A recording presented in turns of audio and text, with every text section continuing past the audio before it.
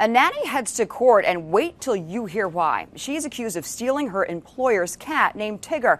Now she's talking to Inside Edition saying she has no regrets about the catnapping. This nanny is willing to go to jail for a cat. Yes, a cat. And it's not even hers. Rebecca Katz, yep, that's her real last name, admits to swiping the kitty named Tigger from her employer. But she says it was for the cat's own good.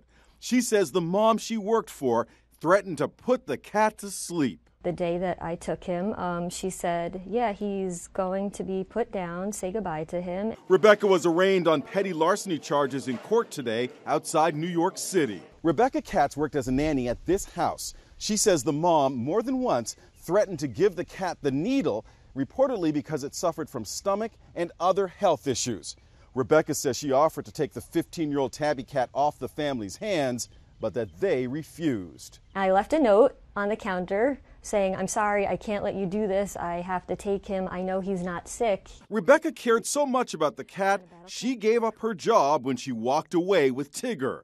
The family went to police, and Rebecca turned herself in. You said you'd be willing to go to jail and sleep with the cockroaches over this issue. Yeah, I, I did say that, and I, I would. Julie and Russell Berman, Tigger's owners, were in court today but declined to comment. Did you threaten to have the cat euthanized? As for the nanny, she gets to keep Tigger till the case is resolved. The nanny says she's already spent $1,000 on medical bills for the cat. She claims her vet could find no serious illness.